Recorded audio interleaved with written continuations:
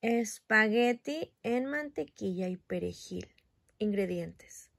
150 gramos de espagueti Tony, un cuarto de cebolla en trozo, dos tercios de una barrita de mantequilla, una cucharada de perejil picado, 100 gramos de queso parmesano rallado. Si no tienes, puedes sustituirlo por otro de sabor fuerte.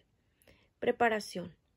1. Cocina tu espagueti por 10 o 12 minutos en medio litro de agua hirviendo con la cebolla y un poco de sal. 2. Ya cocido, escúrrelo y pásalo por la mantequilla y perejil. 3. Espolvorealo con el queso rallado. 4. Sírvelo bien caliente.